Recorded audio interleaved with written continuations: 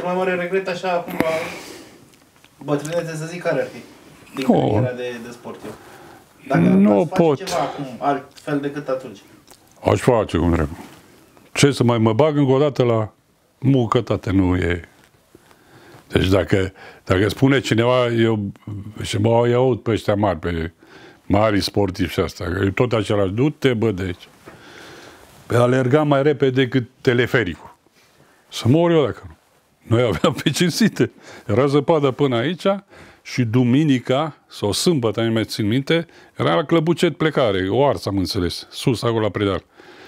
Ăla era antrenamentul. Plecam de sus până jos și înapoi, pe sub teleferic. Pe ajungeam înainte la...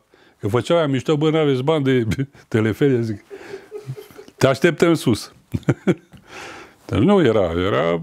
Pe plecam 20 și ceva în cantonament la pregătirea fizică, 25, 26, trebuie să rămână 16. Erau, am avut colegi care se dădeau, la, dădeau așa cu piciorul să se accidenteze să meargă acasă.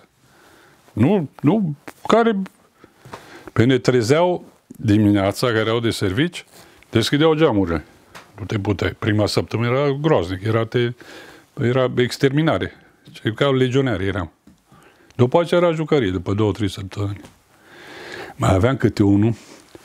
Am avut unul care tasul era, unul Lințu de la Timișoara. Tasul era erou al muncii socialiste și îi zic lui Neanicu Sotir, că antrenorul zic, bă, Neanicu, ce dracu a adus pe ăsta, mă, tată? Că n-are, îl știam din campionat. Bă, alerga ăla, tot timpul era primul, știi? Și pe luat ăștia mai bătrâni. Ce ia băgați-vă, bă, tu nu ai voie să depășești pe ăla și să nu rămâi în spatele ăsta.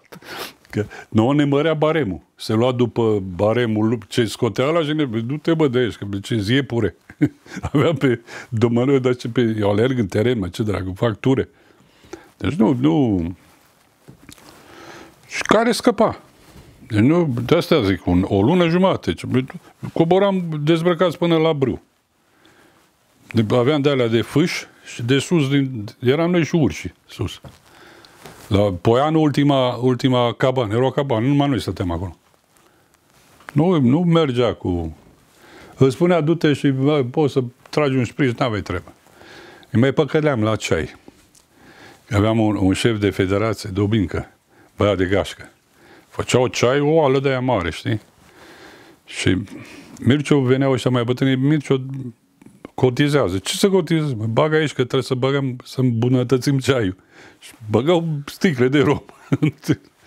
N-avea cum. Nu ești urgiță, du-te de aici.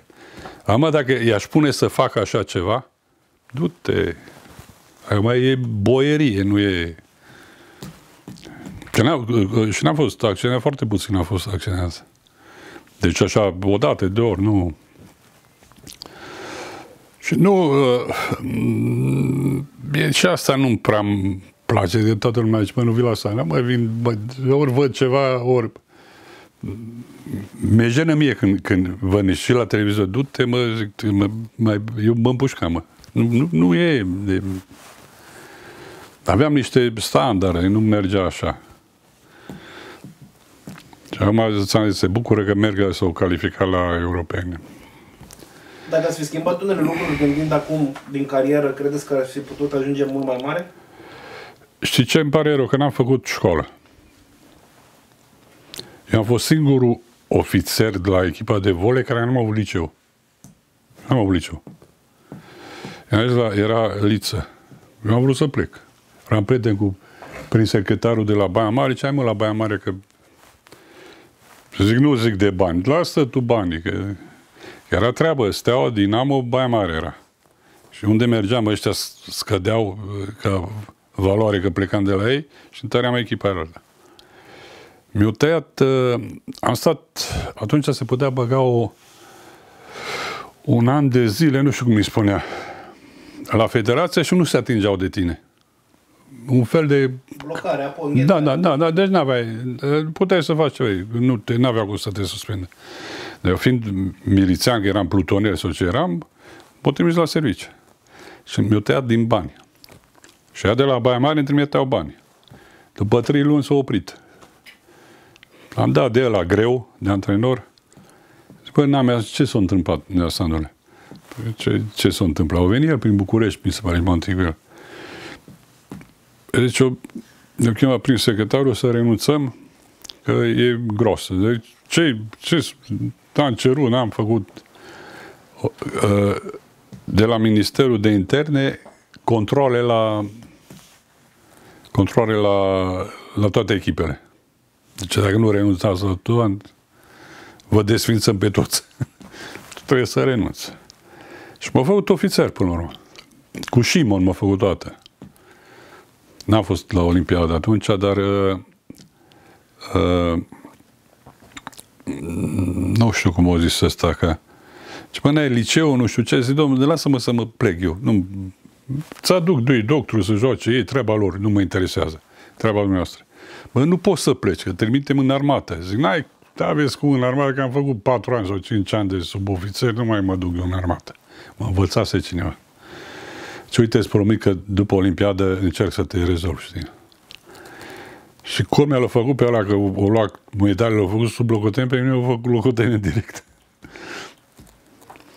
Multe au fost la Dinamo și dar e, cum să spun eu, eu dacă nu mă duceam la Dinamo, cred că ajungeam un derbeliu mare. Deci aveam, eram de, de ăsta rău așa. Acolo mă... Oh, m-au acceptat foarte repede și băieți deștepți, știți? Am avut noroc că citeam mult. Și m-au acceptat pe chestia asta cu cititul și cu... Nu mă prea... Uh, erau, erau niște treburi cu cititul ăsta că mergeai în cantoane, n-aveai ce să faci. Ce televiziune și te uiți de la 10 salut. Și atunci trebuie să citești ceva, trebuie să umpli. Cu toate că nu aveai, că aveai două pe zi, fără probleme. Deci două antrenamente.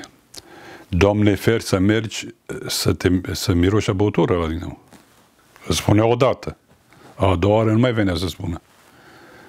Te chema și zice, liber, caută de lucru. Înțelegi?